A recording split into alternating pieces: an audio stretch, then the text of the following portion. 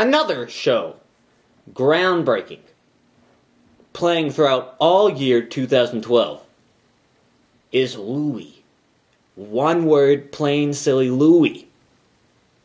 It's Louie Anderson. He can do whatever he wants. It's his own sitcom. Now, this is a funny kind of sitcom because it's he can do whatever he wants, and the show's bonkers. He's crazy. It's full of symmetry and syllogy, symbols and metaphors for just everyday, everyman experiences. It's full of heart and serious literal drama. It's dark. It's dark as hell. Louis is dying. He's fat, he's disgusting, and he eats whatever he wants, and he wants to eat poop all fucking day long. Just filling up with shit.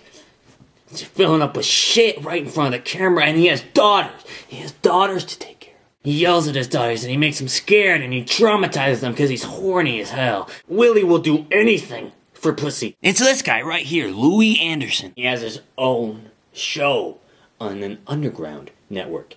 FX, the underground version of Fox Television. Louis is the first character who doesn't get what he wants. He's uh, depressed. He has cancer. He's bald.